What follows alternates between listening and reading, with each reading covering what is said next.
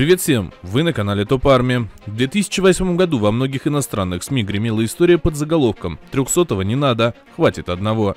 Речь шла о российском солдате, развернувшем в одиночку целую колонну грузинских военных во время конфликта между Южной Осетией и Грузией. 8 августа 2008 года Тазбалат Ибрашев находился в населенном пункте Шали, Чеченской республики в составе 70-го мотострелкового полка. Командир роты приказал выдвигаться к границе Грузии на помощь миротворческим силам. Проведя ночь в ожидании перегруппировавшихся сил Грузии, которая так и не появилась, рота встала у города Горя.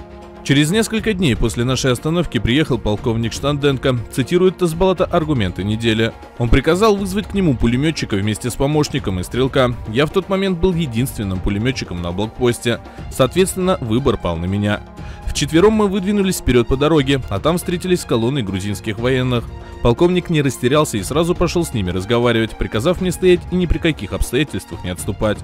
Два моих товарища в это время заняли боевые позиции у обочины за валунами. Мне же со стороны колонны стали кричать «Пропусти», «Уйди с дороги» и еще что-то на грузинском. Я отвечал «Не уйду, у меня приказ». Подходили и журналисты, приехавшие, видимо, вместе с грузинами. Они спрашивали, мол, ради чего здесь стоишь? Я отвечал «Ради родины, а ради чего еще?» Конечно, я понимал, что меня одного с пулеметом могут убить с первого же выстрела, но не боялся.